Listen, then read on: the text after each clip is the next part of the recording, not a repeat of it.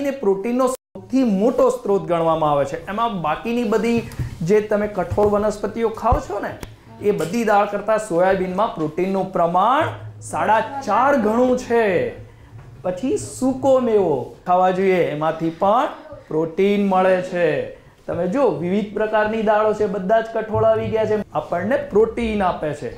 અને રાજમા. રાજમા ખાવાથી પણ પ્રોટીન મળે છે. આપણો એક ખોરાક તો સવારમાં છે જ. દૂધ પીવું જોઈએ જેથી આપણને પ્રોટીન મળે. હવે આ પ્રોટીન કઈ રીતે આપણા શરીરને અગત્યનું છે? ચાલો સ્ક્રીન પર જોઈએ પ્રોટીનનું મહત્વ. એક પછી એક પ્રોટીન એક કોષ અને પેશીના બંધારણ માટે જરૂર છે. કોષ એટલે ખબર છે કોઈને? હા. તો તમે જેમ કોઈ દિવાલ બનાવી હોય તો એ દિવાલમાં શું મૂકવું પડે? એક ઈંટ પછી બીજી પછી ત્રીજી તો આ એક ઈંટ એક કોષ છે. તો આપણું શરીર અસંખ્ય કોષોનું બનેલું છે. અને આ અસંખ્ય કોષો જ્યારે ભેગા થાય તો પેશી અને પેશીઓ ભેગી થઈ તંત્ર અને એમ શરીર બને છે. તો આ શરીરનું જે બંધારણ છે એ કોણ રચે છે ભાઈ? પ્રોટીન. આગળ એનું જોઈએ સ્ક્રીન પર કે જૈવિક ક્રિયાઓનું નિયમન કરે છે. જૈવિક ક્રિયાઓ એટલે ખોરાક લઈએ છીએ ત્યાંથી લઈને ખોરાકનો ત્યાગ કરીએ છીએ. ત્યાં સુધી ચાલતી બધી તમામ ક્રિયાઓ પ્રોટીનને આભારી છે. એનાથી પણ આગળ જોઈએ સ્નાયુઓના સંકોચન માટે. ચેપ સામે રોગ પ્રતિકારક શક્તિ આપે છે. અંતસ્ત્રાવોના બંધારણ માટે. અંતસ્ત્રાવો વિશે ખબર છે બેટા? ના. તમે ખોરાક ખાઓ છો ને ત્યારે પચે છે કેવી રીતે?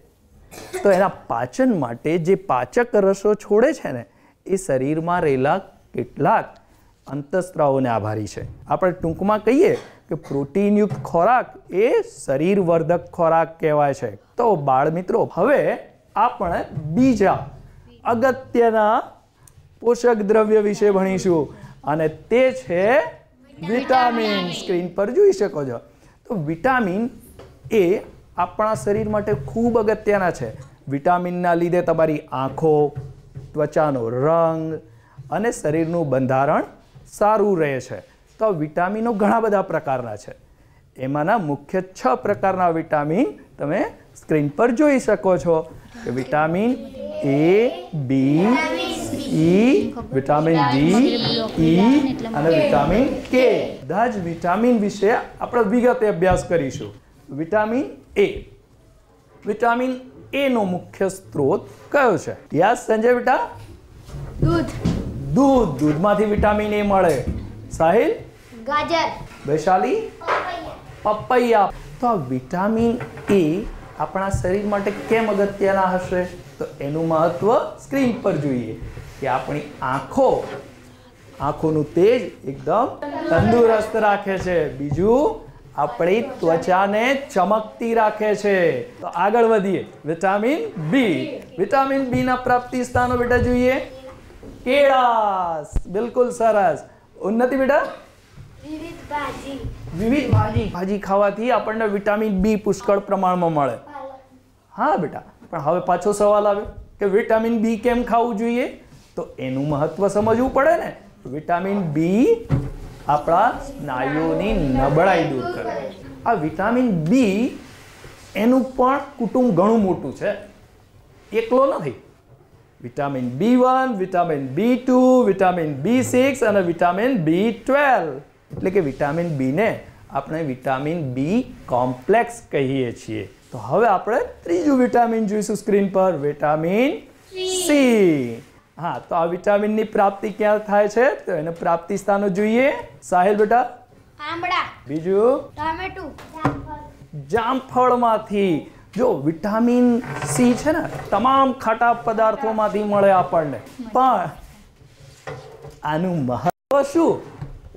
જોઈએ આપણે વિટામિન સી નું. હા આપણા દાંતના પેઢા. હવે એમાં આગળ જોઈએ વિટામિન ડી. વિટામિન ડી ના પ્રાપ્તિ સ્થાનો. યસ નિકિતા બેટા. સૂર્યપ્રકાશ. સૂર્યપ્રકાશ સૌથી મોટો સ્ત્રોત છે વિટામિન ડી નો. પ્રાંજલ બેટા બીજો દૂધ. ઈશા બેટા? માખણ તો વિટામિન ડી ની પૂરી જરૂરિયાત સંતોષવી હોય તો શું કરવું જોઈએ? સૂર્યપ્રકાશમાં ફરવું જોઈએ. અને એ પણ સવારનો તડકો જેને આપણે સૂર્ય સ્નાન તરીકે ઓળખીએ છીએ. હવે આ વિટામિન ડી એ શા માટે જરૂરી છે? વિટામિન ડી બિલકુલ સાચી વાત. શરીરના હાડકાઓને મજબૂત બનાવે છે. હવે એક ત્રીજું પોષક દ્રવ્ય. ચાલો ખનિજ ક્ષાર વિશે ભણીએ.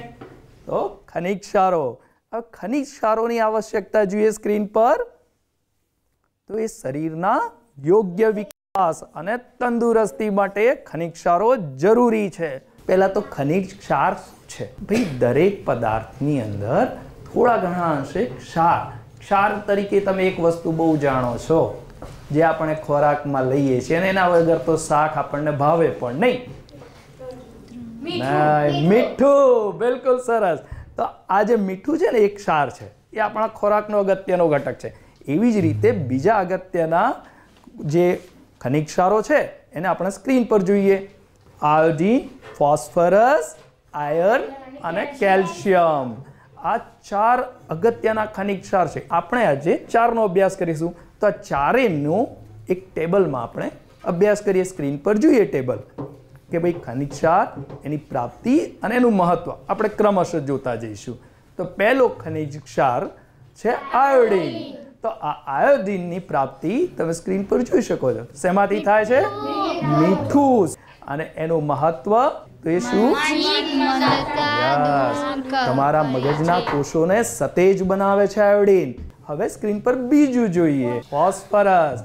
આ ફોસ્ફરસ એ હા, સૌથી વધારે કેળામાંથી. એ કેળા ખાવા જોઈએ. એનું મહત્વ જોઈએ તો એ આપણા હાડકાનું બંધારણ મજબૂત. તમારા હાડકા મુખ્ય બે ખનિક્ષારોના બનેલા જોવા મળે છે. એમાંનું એક અગત્યનું છે ફોસ્ફરસ. હવે ત્રીજું જોઈએ. આયર્ન. તો ક્યાંથી મળશે? તો એના પ્રાપ્તિ સ્થાન સ્ક્રીન પર જોઈએ.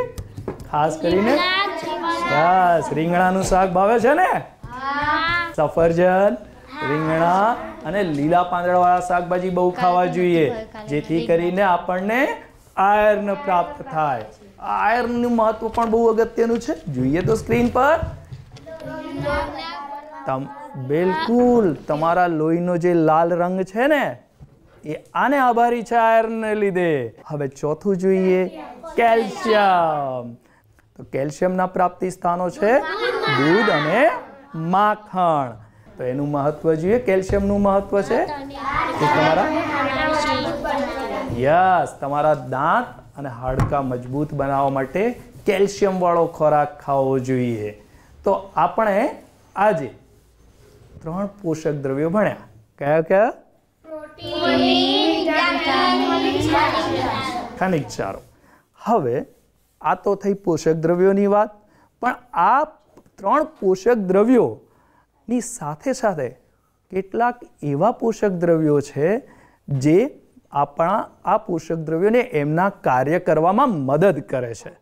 અને એમને આપણે ઓળખીએ સહાયક પોષક દ્રવ્યો તરીકે. અને આ સહાયક પોષક દ્રવ્યોમાં મુખ્યત્વે બે છે. એક છે પાચક રેશા અને બીજું છે પાણી. તો આપણે સ્ક્રીન પર જોઈએ. ચલો, પાચક રેશા વિશે. અને વૃક્ષાંશના નામે પણ ઓળખાય છે. એના પ્રાપ્તિ સ્થાનો જોઈએ સ્ક્રીન પર. શાકભાજી અને ફળો. આ વૃક્ષાંશ એટલે કે પાચક રેશા લેવાથી આપણે એ પાચન ક્રિયામાં મદદરૂપ થાય છે. અને પાચક રેશા બીજું શું મહત્વનું કાર્ય કરે છે? તો એ આપણા શરીરમાં જે અપાચિત ખોરાક છે ને એને શરીરમાંથી બહાર કાઢવામાં મદદરૂપ થાય છે. તો પાચક રેશા પછી આપણે બીજું સહાયક હતું તે છે પાણી. પાણી. ક્યાંથી મળે છે ભાઈ? પ્રવાહી પાણી જે પાણી તમે પીઓ છો ને એ પ્રવાહી પાણીમાંથી પછી છે ફળો અને શાકભાજીમાંથી.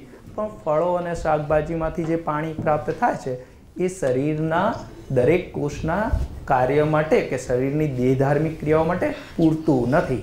એટલે આપણે પાણી વધારે પીવું જોઈએ. હવે આ પાણી એ પણ કંઈક સહાયક પોષક દ્રવ્ય છે, તો એ પણ આપણા શરીરમાં કંઈક કાર્ય કરતું હશે ને, તો એની અગત્ય જોઈએ સ્ક્રીન પર. તો પોષક દ્રવ્યોનું શોષણ કરવામાં મદદરૂપ થાય છે. વૃદ્ધિ અને વિકાસ થવા માટે અગત્યનું કાર્ય કરે છે પાણી.